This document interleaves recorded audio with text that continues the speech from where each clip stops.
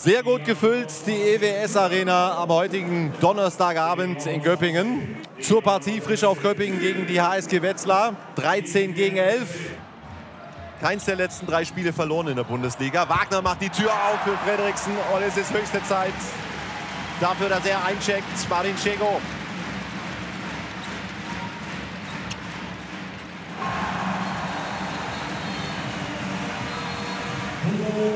Und Sebastian Heimann mit der optimalen Ausbeute. Tor für Göppingen, zwei Minuten rausgeholt. Die Nummer 10, Sebastian.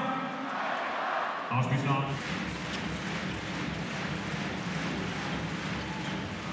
Oh, wunderbare Bewegung von Tobias Ellebeck.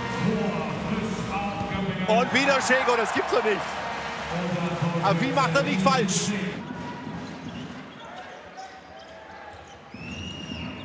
Ole Klimke sehr, sehr stark.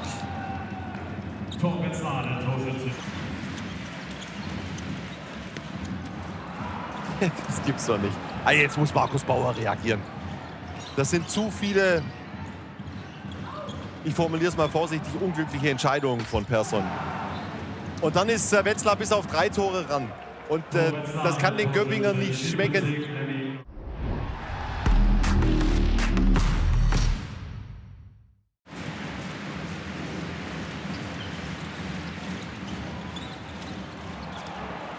Wow, ah, das hat ein Tor verdient gehabt.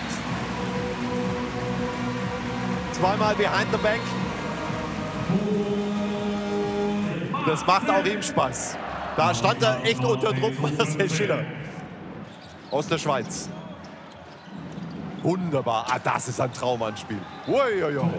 Fast ihm an die Schmied-Stil. Ich hoffe, er nimmt es mir nicht übel.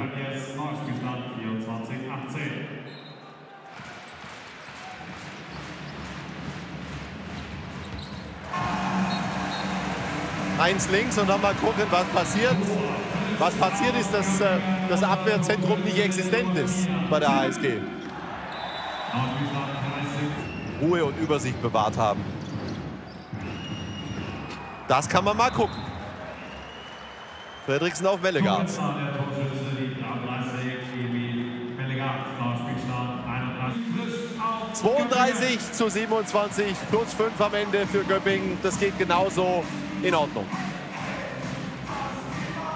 Heute hat sich richtig gut angefühlt. Äh, Wir waren von Anfang an waren wir hellwach. Äh, Wir standen sehr, sehr gut in der Abwehr, äh, hatten ein gutes Tempospiel und waren vorne gerade die ersten Minuten sehr, sehr effektiv. Und das hat uns eigentlich von Anfang an geholfen, davon zu ziehen. Ich glaube, was sich dann heute auch wieder durchs Spiel zieht, dass wir wieder den nächsten Torhüter einen Paradenrekord geben, äh, wie schon viele Spiele zuvor und dann einfach unclever sind bei unseren Abschlüssen. Alle Spiele live und auf Abruf bei Dein.